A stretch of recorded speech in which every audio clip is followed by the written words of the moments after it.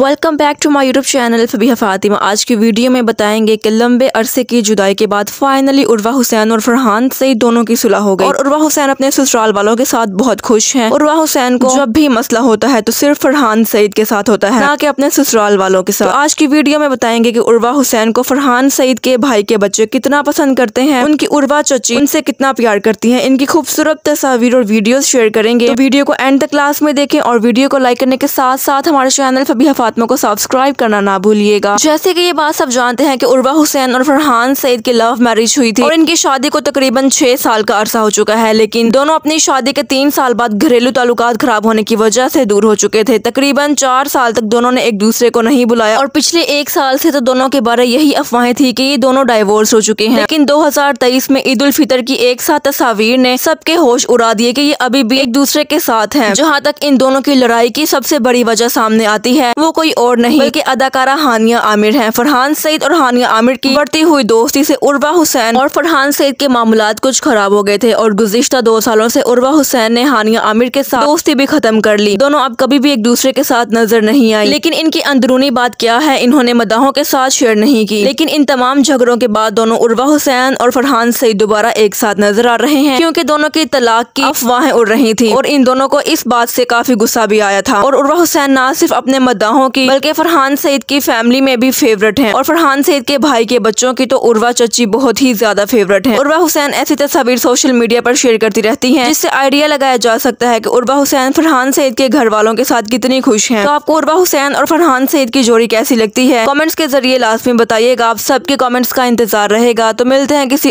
और नई अच्छी वीडियो के साथ till then take care of your self